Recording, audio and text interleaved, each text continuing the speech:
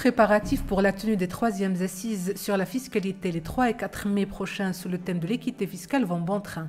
Un rendez-vous très attendu puisqu'il doit aboutir à un projet de loi cadre sur la fiscalité qui portera les grands principes de la réforme fiscale à venir et la programmation précise sur cinq ans à partir de 2020 des principaux engagements du Maroc en la matière. Autant dire les grands espoirs fondés sur ce rendez-vous comme prélude au nouveau régime fiscal marocain. Pour autant, nul ne peut avancer sans faire un état des lieux de ce qui a été fait depuis la tenue et des premières assises et des deuxièmes assises sur la fiscalité en 2013. De même que se pose avec acuité la question du nouveau modèle de développement, dont les contours ne sont toujours pas précisés et que ce régime fiscal est censé supporter et faire aboutir. Un sujet complexe et épineux que EcoActu a évoqué avec Najib Arsbi, économiste et enseignant-chercheur, pour faire avancer le débat sur cette question. Monsieur Najib Arsbi, bonjour. Bonjour. Vous êtes euh, économiste, enseignant-chercheur, et nous sommes réunis aujourd'hui autour d'une thématique très importante, d'autant qu'on est à un mois d'intervalle de la tenue des troisièmes assises sur la fiscalité les 3 et 4 mai prochains. Alors, avant d'aller euh, plus en avant sur la thématique de la fiscalité, on aimerait bien quand même faire un, commentaire, un flashback sur quelle base de départ prend le débat actuel. Et je fais référence bien évidemment aux précédentes assises de 2013, du nombre très important de recommandations qui ont été formulées et qui euh, malheureusement n'ont pas été euh, concrétisées sur le terrain. Un commentaire là-dessus. Bien, je pense que euh, pour comprendre euh, la situation actuelle, il faut faire bien sûr un, flashback, mais pas simplement aux assises de 2013, parce que les assises de 2013 sont elles-mêmes euh, la suite d'autres assises qui avaient eu lieu en 1999, et surtout, et surtout, en fait, le système fiscal actuel, actuel tel que nous le pratiquons, est le produit d'une réforme fiscale qui a eu lieu pendant les années 80 du, siècle passé, et qui était en fait une composante de ce qu'on avait appelé à l'époque la politique d'ajustement structurel. En réalité, ça veut dire concrètement qu'elle était induite par une logique de l'économie de l'offre. L'idée principale était de réformer le dispositif autour de trois composantes majeures que sont l'impôt sur le revenu, à l'époque, on parlait d'impôt général sur le revenu, d'impôt sur les sociétés et, de la TVA. Mais en substance, l'idée, c'est le principe de la théorie de l'offre, hein, inspirée bien sûr par les préceptes de l'école néoclassique, c'est que la fiscalité doit être au service de l'offre, c'est-à-dire de la production, c'est-à-dire de l'investisseur, c'est-à-dire de l'entrepreneur. L'idée simple, c'est donc la fameuse théorie euh, du ruissellement. en clair, il faut laisser les riches s'enrichir, sachant que ensuite, ensuite, dans une deuxième phase, ben, ces riches pourraient investir et donc créer des emplois, distribuer des revenus et diffuser ensuite le progrès et le bien-être dans la société. Donc la fiscalité qui a été conçue et sur laquelle nous sommes encore aujourd'hui est une fiscalité qui, dès sa genèse, s'est voulu une fiscalité au service du capital dans une perspective d'une vision libérale de l'économie. Ce système, en réalité, a évolué en devenant encore plus régressif qu'il ne l'était au départ. Déjà au départ, je viens de vous dire que forcément un, système de cette nature ben, va être un système d'abord dominé par ce qu'on appelle les impôts indirects, c'est-à-dire des impôts finalement qui peuvent sur le plan du rendement fiscal être intéressants, mais qui sont horriblement injustes parce qu'ils sont aveugles. La TVA est un impôt aveugle. Que vous soyez riche ou pauvre, quand vous achetez un produit, vous payez le même impôt. Dans le prix de ce, de ce produit. Et donc, des impôts très injuste. Un système comme ça, évidemment, va accentuer surtout la pression sur les revenus du travail, les salaires, pour faire simple, le cas oui, va laisser, laisser les revenus du capital, euh, avec une très très faible pression fiscale, va évidemment multiplier les fameuses incitations fiscales, les exonérations fiscales, qu'on appelle aujourd'hui les dépenses fiscales, avec cette idée toujours qui procède de, de, de, l'univers néoclassique. C'est que l'idée, c'est qu'il faut donner des privilèges fiscaux, des incitations fiscales à l'investisseur en espérant que ces incitations suffiraient pour amener l'investisseur à investir et donc créer des emplois, etc. Et donc ce système va multiplier à tout va les incitations fiscales. Ça veut dire autant de manque à gagner pour les ressources, pour, le trésor public. Un système fiscal aussi va évidemment essayer d'avoir une attitude extrêmement, euh, euh, disons, euh, on va dire compréhensible, entre guillemets, par rapport au phénomène de, l'évasion fiscale, de la fraude fiscale. Donc, c'était déjà l'état du système né dans les années 80. La suite des événements, l'histoire par la suite, ben, en fait, a accentué et non pas atténué l'état de ce, système. De sorte que déjà, par exemple, dans les assises de 1999, ben, on faisait déjà ce constat. On disait on a un système qui parlait déjà d'assiette fiscale qui, pas, qui ne s'élargissait pas. On parlait aussi d'incitation fiscale qui ne produisait pas d'effet, qui était inefficace, alors qu'elle coûtait par ailleurs au budget euh, de l'État. On parlait d'incohérence dans le système de l'impôt sur le revenu, on parlait d'incohérence dans le système de la TVA. Évidemment, on parlait aussi des problèmes de l'administration fiscale et de la fraude fiscale. Les assises de 99. Très bien. On arrive en 2013. Mais à nouveau, je vous assure, c'est terrible cette impression qu'on peut avoir quand on a suivi tout ce cheminement, ben en fait d'un éternel recommencement. On a l'impression qu'à chaque fois on se réveille, les responsables du moment qui arrivent, ben, on a l'impression qu'ils découvrent le, qu'ils se réveillent, ils découvrent le monde. C'est les, mêmes, les mêmes problématiques et c'est les mêmes diagnostics. Dans les, assises de 99 que auxquelles j'avais participé activement, mais ben, on a fait tout le constat qu'aujourd'hui, J'entends ça et là en train d'être fait par, les, par les, les, responsables, par les commissions qui travaillent, etc. Quels étaient les, les constats? C'était qu'effectivement, on a un système à la fois inefficace et inéquitable, incohérent, incohérent, complexe. Et alors, inutile de s'attarder sur le constat, parce que je répète encore une fois, le diagnostic, quand il, il parle de lui-même. Mais ce qui est intéressant dans les, assises de 2013, c'est que, bon, après deux journées de travail, surtout après des mois de, travaux, de commissions, de préparation, etc., ben les, assises avaient abouti à, euh, autour des, d'ailleurs, il y avait cinq ateliers qui avaient donc abouti à une soixantaine de recommandations. On ne va pas s'attarder sur ces, cette soixantaine de recommandations, mais je pense qu'il est très important aujourd'hui simplement de rappeler les, têtes de chapitre, les traits fondamentaux de ce qui devait être la réforme, pour ensuite voir, au regard de ce qui a été fait, où on en est aujourd'hui.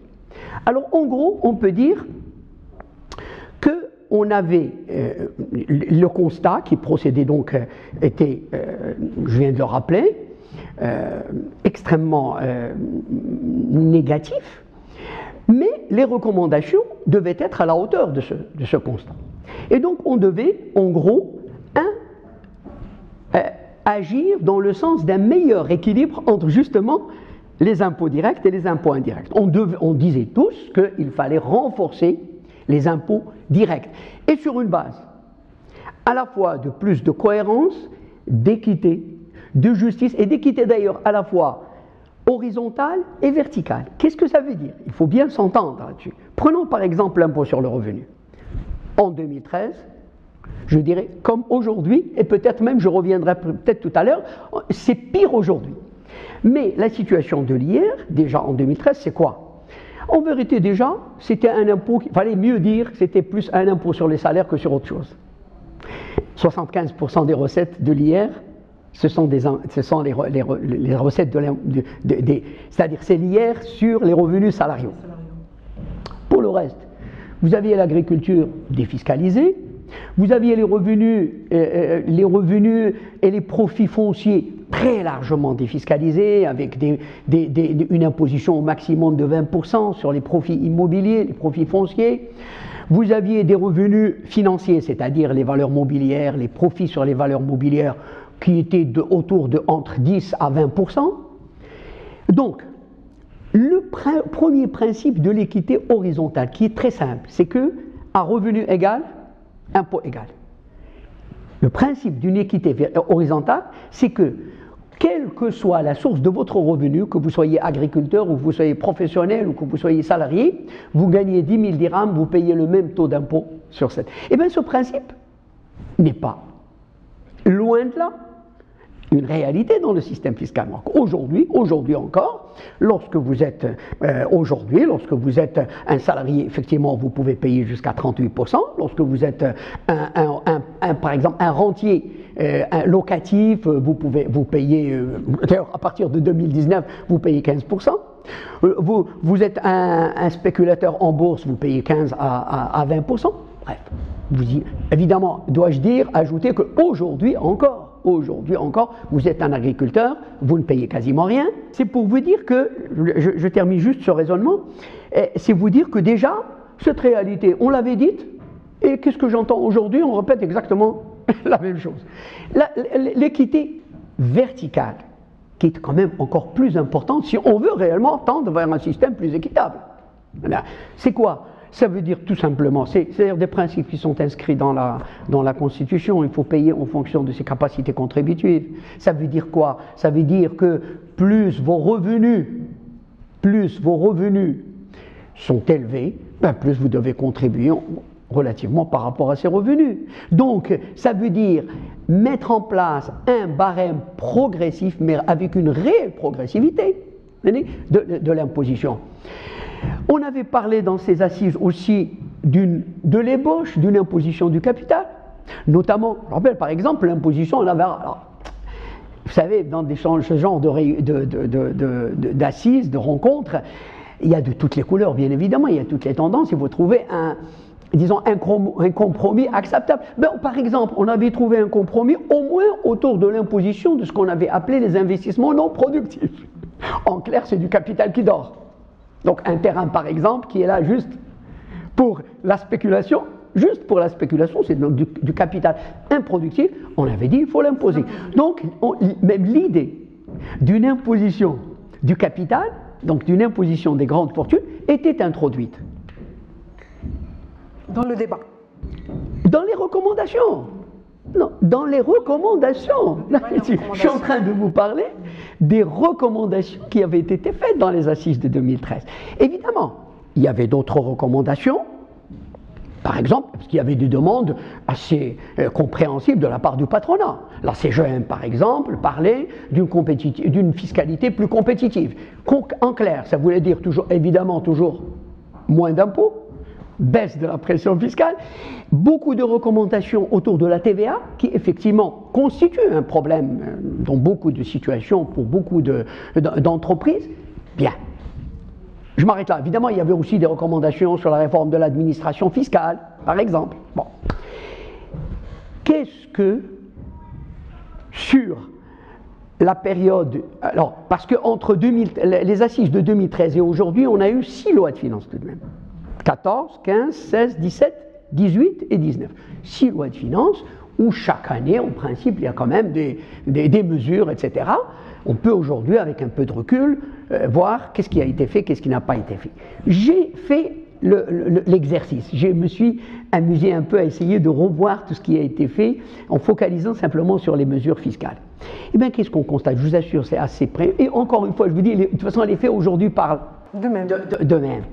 En réalité, on s'aperçoit que une bonne partie des recommandations de la commission fiscalité et compétitivité, en clair, qui sont d'abord les demandes de la CGM, du patronat, eh bien oui, ces recommandations ont été, ont été prises en considération. Par exemple, je peux vous dire que même sur les 4-5 dernières euh, lois de finances, ben oui, on a baissé la pression fiscale, on a baissé les taux d'imposition, au niveau de l'IS, au niveau, au, niveau, par exemple, euh, un certain nombre de mesures, comme par exemple l'exonération des entreprises industrielles, y compris dans l'axe de Casablanca, ce qui n'existait pas auparavant. On a par exemple un régime intéressant pour les, fusions entre des groupes entre les, groupes de, sociétés, on a introduit euh, un certain nombre d'avantages de, de, déductions fiscales qui permettent de réduire l'impôt sur, les, sociétés, surtout pour la TVA. Je peux vous assurer que, même si évidemment que les problèmes, beaucoup de problèmes restent, mais le chemin qui a été fait sur la question de la TVA, sur notamment par exemple ce qui étaient les, les revendications les plus, euh, non, les plus pressantes des entreprises. Par exemple, le, fameux, le, problème du butoir financier. La question, d'abord, on a supprimé la question du décalage d'un mois. On a amélioré, je ne dis pas qu'on a réglé, mais on a amélioré la question des remboursements de la TVA. On a, eu il n'y a qu'à voir, par exemple, l'année dernière, avec la, la, solution de la facturage, mine de rien, on a quand même remboursé quelques 40 milliards aux entreprises. On a assez généralisé le principe de la déduction Notamment, on a par exemple, on a même introduit l'idée du remboursement de la TVA sur les investissements. Bref, je peux vous dire que globalement, l'impression qui arrive, mais de manière très claire, c'est que on a fait encore une fois deux poids et deux mesures. Mais tout de même, il existe un autre Maroc. C'est ça la question. Qu'a-t-on fait pour les salariés, par exemple? Qu'a-t-on fait pour l'imposition des revenus salariaux? Qu'a-t-on fait pour l'imposition des petits professionnels? Au contraire, on a accentué la pression fiscale sur les tout petits. Je parle des, petits professionnels, notamment par le biais de la cotisation minimale. Vous savez par exemple que cette année, cette année dans la loi de finances 2, on a encore accentué, augmenté le taux de la cotisation minimale qui était de 0,50% à 0,75% sur le chiffre d'affaires. Mine de rien, pour les tout petits professionnels, c'est un taux qui peut être euh, toute proportion gardée, parce que 0,75% du chiffre d'affaires, non pas du bénéfice. Ça peut être l'équivalent d'un taux d'imposition de 30-40% sur les bénéfices, même plus. Oui, eh bien, on a accentué. Qu'a-t-on fait par exemple pour les, pour les autres types, pour harmoniser les, différents types d'imposition? Je dirais même qu'on a accentué, si vous voulez, le, en fait, le, la décomposition, le démembrement le démembrement de l'impôt sur le revenu. Là aussi, je, prends simplement les, derniers exemples de la loi de finances 2019. Déjà, me dit, vous savez que les revenus agricoles pratiquement ne sont toujours pas concernés. Les revenus financiers et les plus-values financières sont soumis à un impôt libératoire proportionnel, soit 15%, soit 20%, mais c'est terminé. Ça veut dire que ça n'entre pas dans la globalisation des revenus qui est soumise à un barème d'imposition. Les profits fonciers, on a fait un recul parce que je pense que dans la loi de finances 2014 ou 2015, je, me trompe, justement, on avait fini par se rendre compte quand même qu'il y avait des profits, des profits fonciers, des plus-values foncières qui étaient considérables et qui n'étaient imposés qu'à 20%. Donc, de manière assez. On avait salué à l'époque, c'était un progrès, ce n'était pas l'idéal, mais on avait dit on va, augmenter le taux à 30%, surtout pour les terrains qui entrent en, zone, euh, en périmètre euh, urbain. Eh bien, ça n'a pas duré longtemps.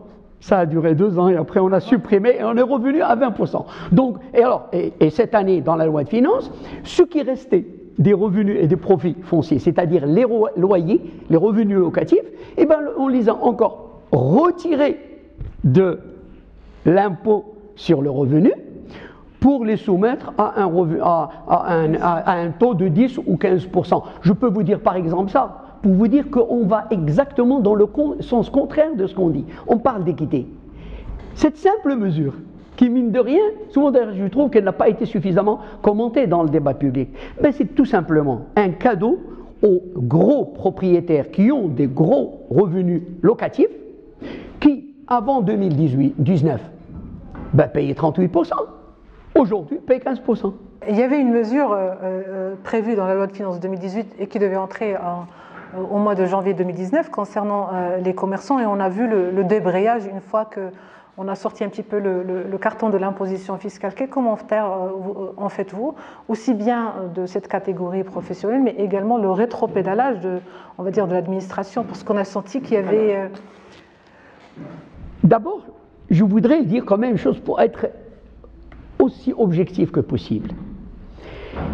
Et justement pour arriver à ça, j'ai dit sur le plan de la politique fiscale, ce qui a été fait, en réalité, a été quelque chose, une politique très partiale, hein, pour ne pas dire partisane. On a pris parti pour une partie de l'opinion, pour une partie des intérêts, pas pour l'autre. Mais tout de même, sur le terrain de l'administration fiscale, on a fait des choses, honnêtement, honnêtement. Euh, on a essayé euh, d'améliorer d'abord la prestation. Je pense que la digitalisation, la numérisation, euh, incontestablement a fait des progrès. On a ce qui était une demande très ancienne, c'est-à-dire l'accroissement, le renforcement du corps des vérificateurs fiscaux. Pendant 30 ans, on, tournait autour de 250-300 vérificateurs, ce qui était absolument euh, dérisoire. On, dit aujourd'hui qu'on serait autour de 700 vérificateurs. Je trouve que c'est, un, progrès absolument considérable. Maintenant, sur le terrain de la fraude fiscale, la lutte contre la fraude fiscale, je dirais qu'il y a eu un, un, flux et un reflux. On a essayé donc d'améliorer les actions de vérification, la force de frappe de vérification. Mais le reflux, ça a été quoi? On a d'abord, par exemple, je, pense que c'était dans la loi de finances de 2017 ou 2018, ben on a essayé d'activer pour une fois la pénalisation de la fraude fiscale. Vous savez que ça, c'est encore une curiosité dans le système. Formellement, c'est une mesure qui existe depuis pratiquement 20 ans. Dans les textes, il est prévu, formellement, nominalement, que sous certaines conditions, on peut aller en prison pour fraude fiscale, comme ça se fait dans tous les pays du monde, encore une fois. Mais cette mesure n'a jamais été activée. Pourquoi? Parce qu'il y avait une commission qui devait être constituée, qui devait évidemment donc être l'élément clé dans le processus, qui n'a jamais été donc activée. Dans la loi de finances, honnêtement, je, je crois que soit 17, soit 18, on a essayé, on a introduit dans les textes une disposition qui consistait à réactiver un peu ces dispositifs et donc par là même essayer de donner corps à cette pénalisation. il ne l'a pas fallu de mois pour euh, une levée de bouclier euh, Et puis le gouvernement a dit excusez-moi, je n'ai rien dit, je reviens en arrière, c'est terminé. Donc flux et reflux.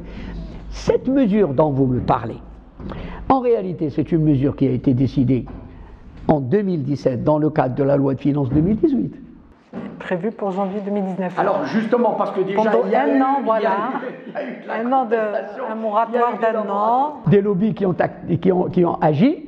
On a dit ok, ok, ok, d'accord, on la décide. Donc elle a été. C'est pas, c'est pas quelque chose qui a été décidé dans la loi de finances 2018. Euh, on l'a décidé dans la loi de finances 2018.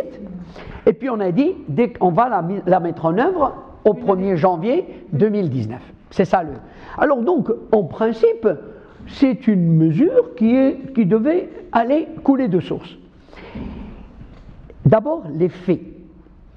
Qu'on soit clair, et je pense que les, textes ont été suffisamment clarifiés aussi sur ce plan-là, notamment avec une circulaire de la direction des impôts qui disait clairement qu'en réalité, 99% justement des petits professionnels, des petits agriculteurs, des petits commerçants plutôt, des petits professionnels, ben, n'étaient pas concernés. Les forfaitaires, c'est-à-dire qui sont soumis au régime du forfait dans le cadre de l'impôt sur le revenu, n'ont jamais été concernés. Or, qu'est-ce qu'on a constaté? C'est ceux-là qui sont descendus dans la rue. Bon, qu'est-ce que vous voulez que je vous dise? Est-ce que c'est de l'ignorance? Est-ce que c'est de la manipulation? Certains disent qu'ils ils auraient été plus ou moins manipulés. Toujours est-il, toujours est-il, peu importe. Ce qui est inquiétant, effectivement, c'est l'attitude des, politiques. C'est que le gouvernement, c'est le que le gouvernement, finalement, est reculé à la première alerte venue. Et quel message? Moi, je trouve que le message qui a été, par ce geste, qui a été donc finalement donné, est, désastreux. Parce que ça veut tout simplement, ça a voulu tout simplement dire que, bon ben, euh, on peut travailler sur une réforme pendant des années, on peut décider collectivement, légalement, puisque ça a été voté par le Parlement quand même, je rappelle.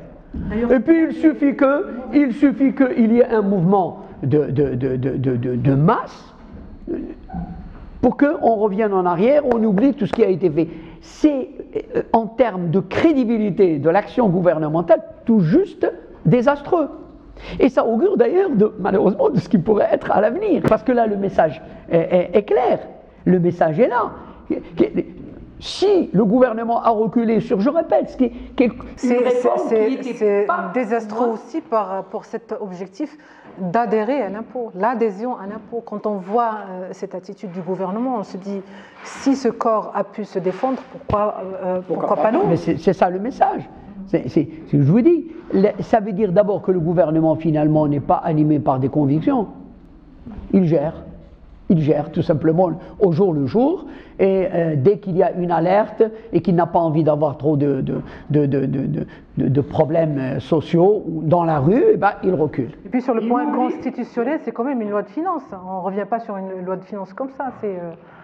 Euh, c'est un projet qui a été débattu, qui a fait des va-et-vient, qui a été euh, voté par le Parlement. Si on met, revenons à l'essentiel, si on laisse de côté, je répète, les, forfaitaires, les petits professionnels qui n'étaient pas tenus par cette mesure, tout simplement parce que ça c'est le reflet d'une réalité de l'économie, de la société marocaine, c'est pas avec un décret ou une loi qu'on va changer les choses.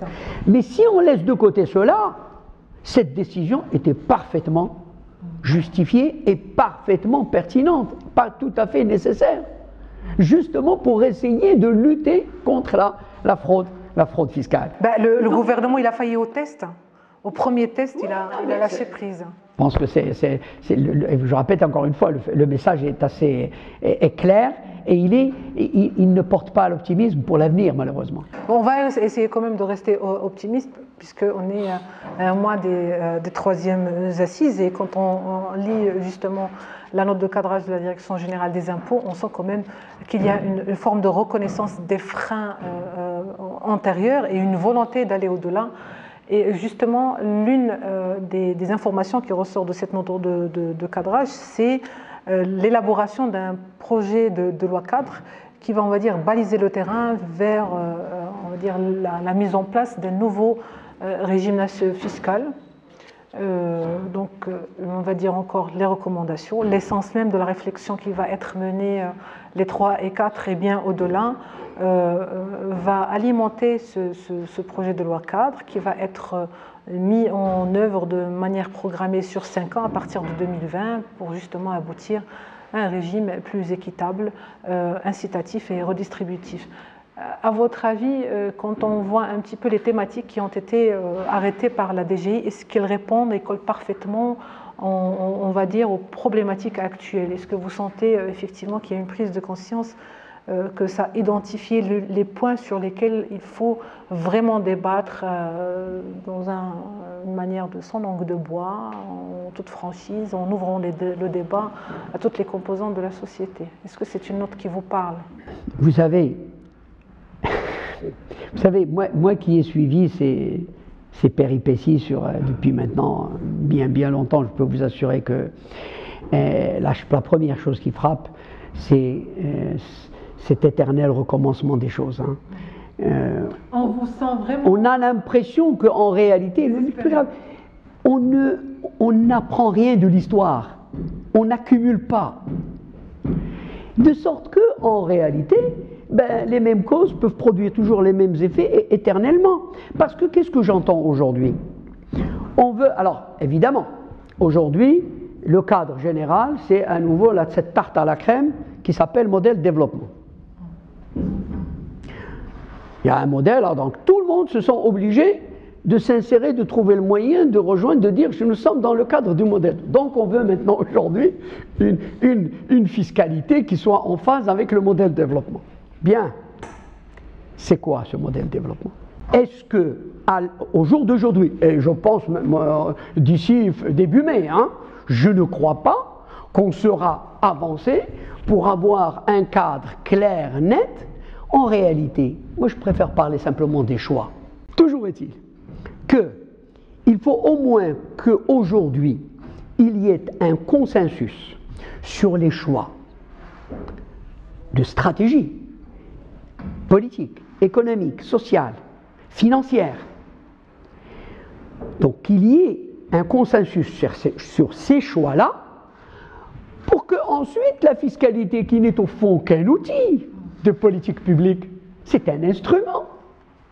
Pour que la politique fiscale puisse se mettre au service de, ce, de ces choix, ben, il faut que ces choix soient clarifiés. Ce n'est pas le cas aujourd'hui. La première chose, c'est de, faire un bilan autocritique, hein, pas pour le plaisir de s'autocritiquer, mais d'abord simplement pour tirer les enseignements qu'il faut de l'expérience.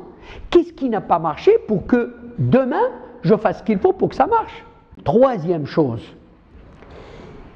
aujourd'hui, est-ce que quand on dit par exemple on veut une fiscalité qui encourage l'investissement productif et les créations d'emplois, j'ai envie de dire, est-ce que à ce jour, on n'a pas quasiment déjà tout fait?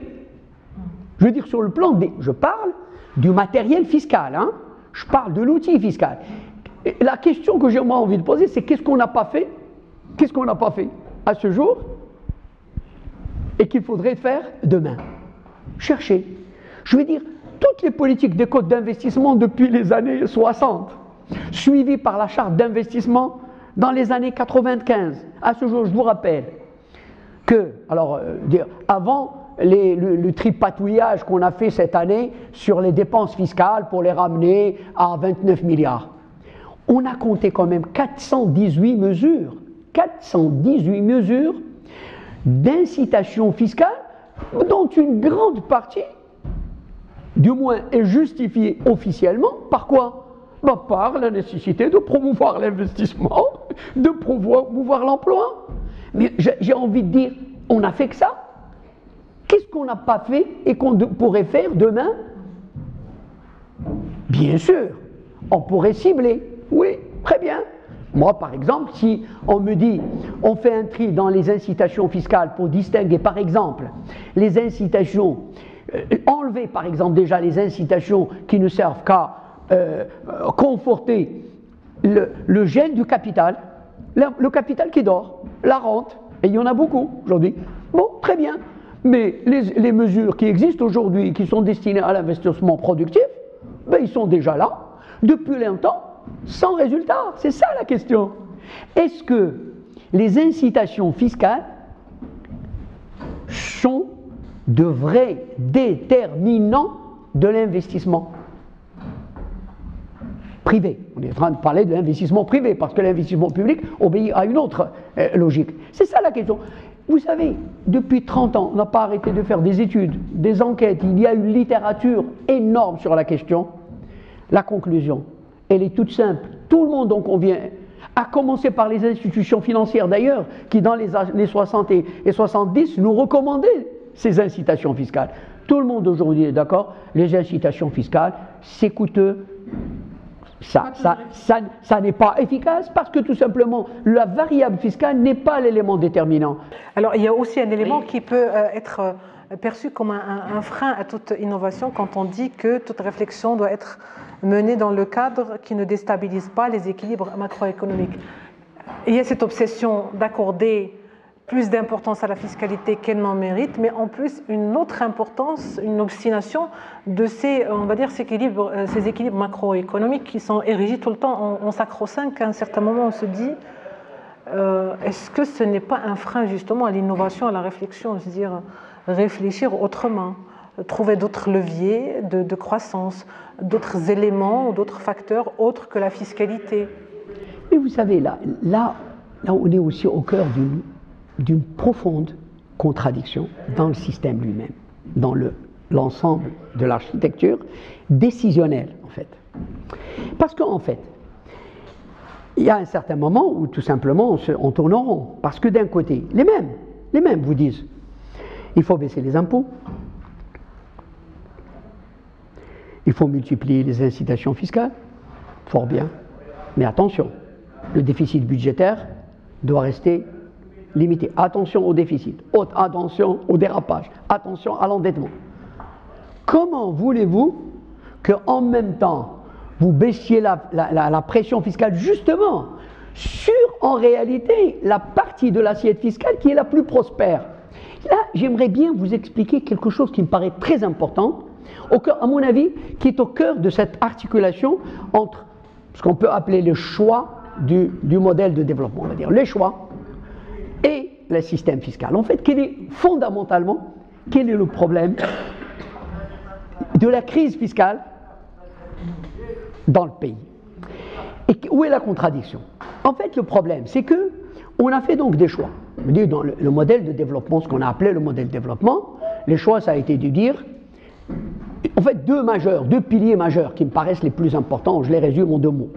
D'un côté, on a dit, on veut une économie de marché qui compte sur le secteur privé, parce que c'est le secteur privé qu'il faut renforcer, qu'il faut faire prospérer pour que lui ensuite puisse investir, etc.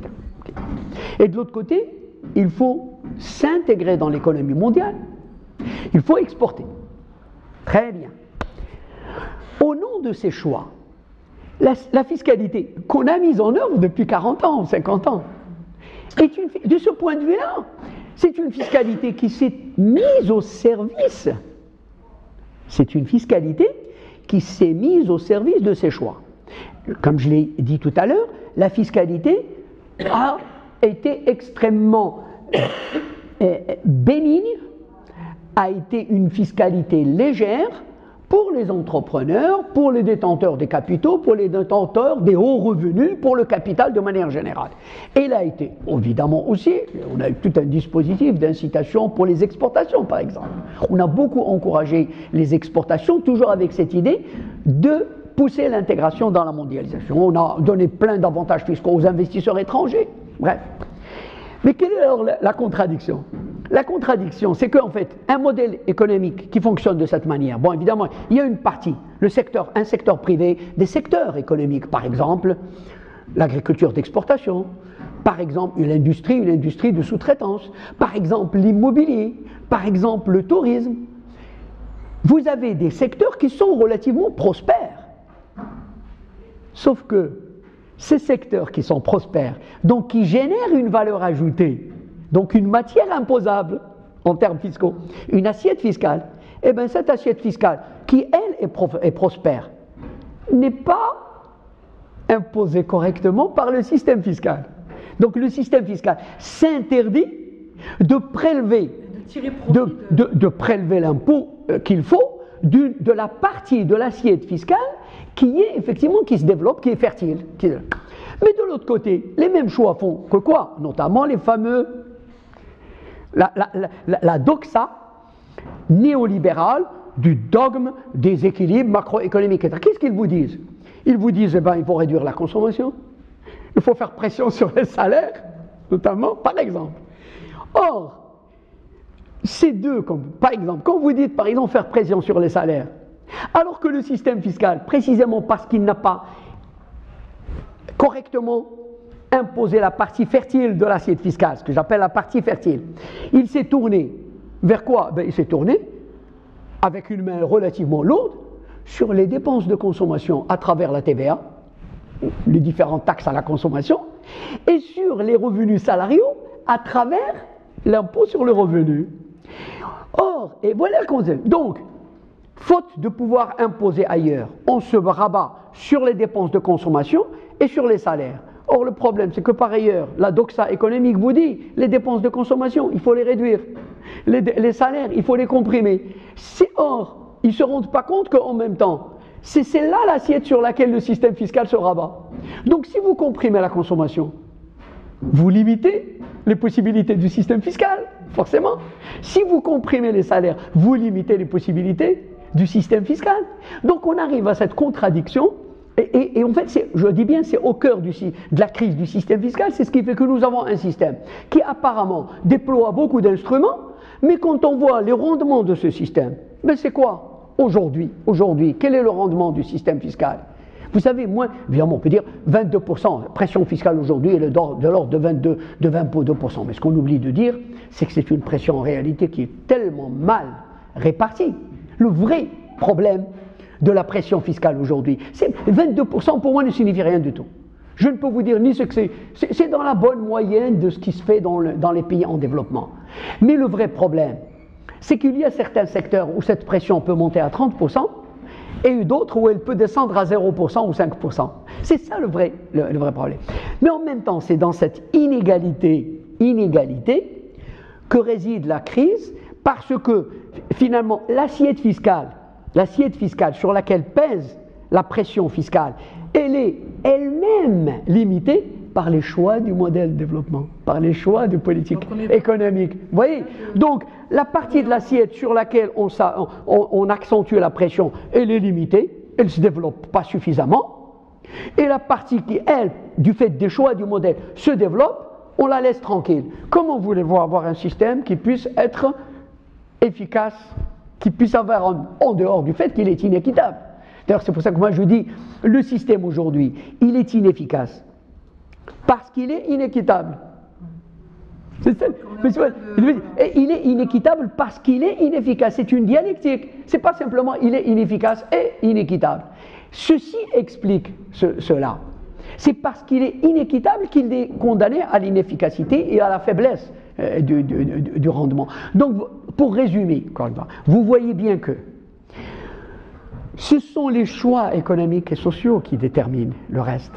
Le problème de notre pays aujourd'hui, c'est que non seulement nous n'avons pas aujourd'hui, à l'instant où on parle, ce qu'on sait, c'est que les choix qui ont été faits dans le passé n'ont pas donné, n'ont pas produit les résultats attendus, c'est le moins qu'on puisse dire.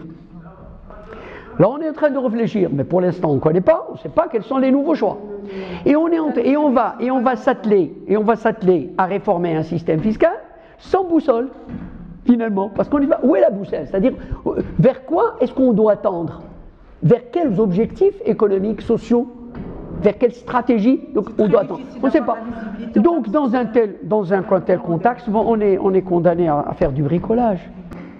Alors, il y a aussi un autre point qui est quand même assez euh, euh, équivoque, c'est que dans une démarche de concertation, la Direction générale des impôts a quand même ouvert le débat à la participation en public et euh, euh, elle a mis en, place une plateforme pour recueillir un petit peu les doléances euh, de, que ce soit le grand public, que ce soit les universitaires, que ce soit l'entreprise, que ce soit l'auto-entrepreneur, que ce soit la coopérative, que ce soit l'agent agricole, etc.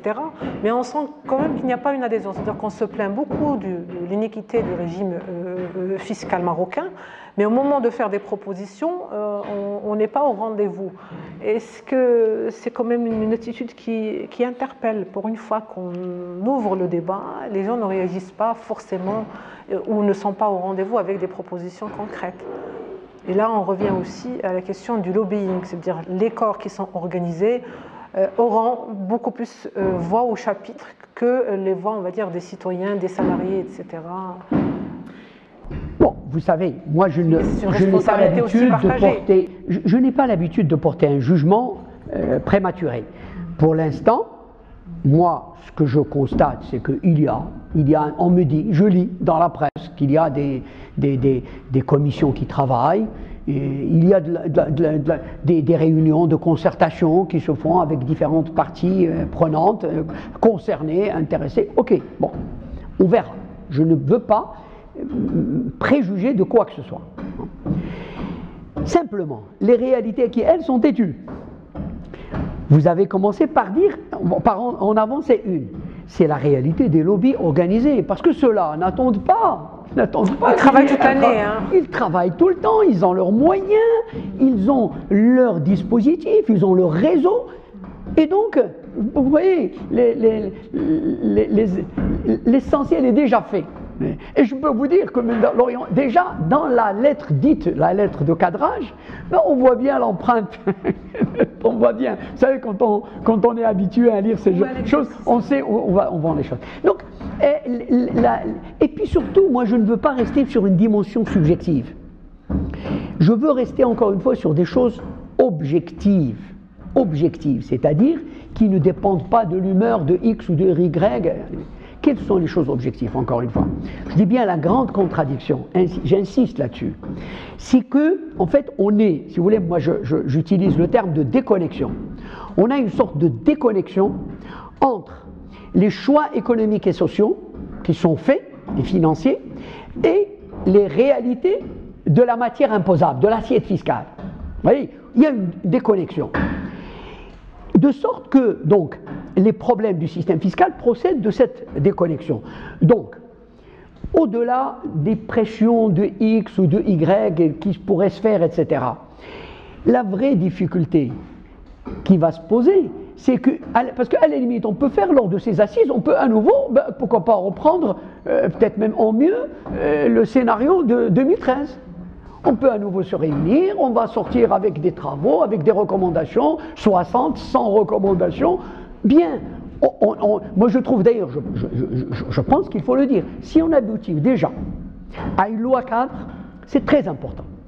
Ça, je trouve que même, je, peux vous assurer que euh, pour moi, je ne me fais pas d'illusions, vous, voyez bien, je ne me fais pas d'illusions, mais, si, on, a une loi cadre qui au moins est claire, c'est-à-dire, parce que le grand problème, comme vous, on le constate chaque année, il y a une telle instabilité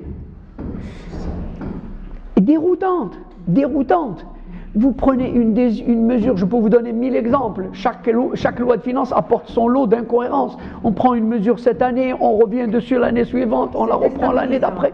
Bon, donc, le fait que on puisse aboutir à une loi cadre. Bien sûr, cette loi cadre, on peut la discuter, on peut être d'accord ou pas d'accord, c'est à la limite. Le plus important, c'est qu'elle existe. Et qu'ensuite, effectivement, elle puisse être mise en adéquation avec les choix de la stratégie économique et sociale. C'est ça le plus important. C'est qu'il faut qu'on sorte de cette déconnexion entre les choix économiques et les choix fiscaux. Donc, si on a une loi cadre, avec des choix qui sont clairs, si ces choix sont en cohérence avec les choix économiques, je pense qu'au moins on aura une plateforme, on aura une base de débat et de discussion. Personnellement, je ne me fais pas plus d'illusions sur ce qui pourrait se faire, parce que je répète encore une fois, les, contraintes sont celles du modèle économique, bien sûr, mais aussi n'oublions pas, on ne va quand même pas euh, rater, ne pas parler de l'essentiel, mais l'impôt c'est un fait avant tout éminemment politique. On est au cœur de l'équation politique de ce pays. Le système fiscal est le produit de rapports sociaux, de rapports de classe. Si je vous parlais d'un système tout à l'heure, d'un système qui est injuste, mais il est injuste pour qui? Il est injuste pour ceux, la partie de la population qui n'a pas de voix. Par contre, justement, les lobbies, les groupes d'intérêt, eux qui ont les moyens d'agir et de façonner le système à leur guise. Donc c'est un fait politique. Est-ce que les responsables politiques ne sont pas en mesure de comprendre, euh, d'avoir cette lucidité pour comprendre tout simplement qu'il est de l'intérêt de tous pour qu'aujourd'hui, ben, ceux qui ont les moyens, personne ne parle de dépouiller les, gens, mais simplement ceux qui ont beaucoup, ben, puissent donner un peu pour que le pays se sente mieux, aille mieux. Ben, ça m'amène à, à, ma dernière question, puisque lors des assises de 2013, il y a eu justement le fait politique qui a fait euh, qu'il y a eu le départ du parti de l'Istikla du gouvernement, la recomposition d'un autre gouvernement Benkera numéro 2.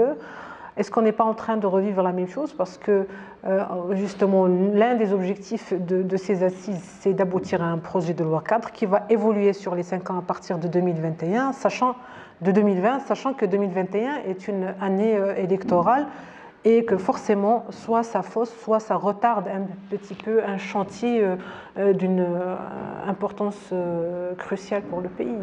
C'est toujours le le, politique qui rentre d'une manière ou d'une autre et qui, euh, on va dire, chamboule le tout 20 ou 21 ou 22 avant, après les élections, je ne crois pas que c'est cela qui va déterminer s'il y aura une vraie réforme fiscale ou pas.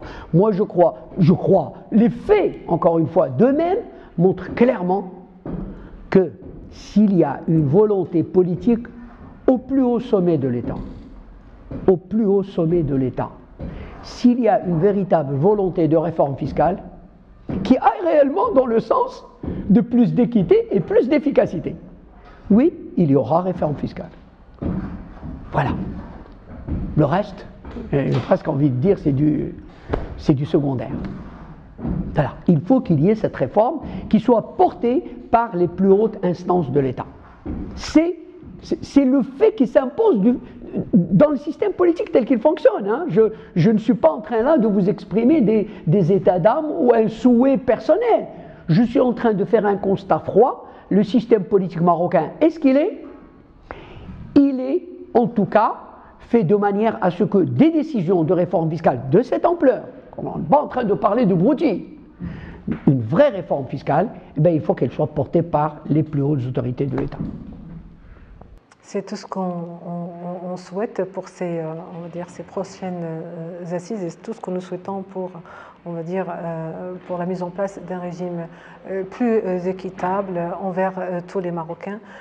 Monsieur Najib Aksbi, c'est toujours un plaisir de vous recevoir, de discuter avec vous. Je rappelle que vous êtes économiste, enseignant-chercheur. Merci d'avoir répondu à notre invitation et une prochaine fois, Inch'Allah. Inch'Allah. Bon courage. Merci beaucoup, Najib. Au revoir. Pour suivre toute l'actualité d'EcoActu.ma, inscrivez-vous sur notre chaîne YouTube et rejoignez notre communauté sur Facebook et sur les autres réseaux sociaux.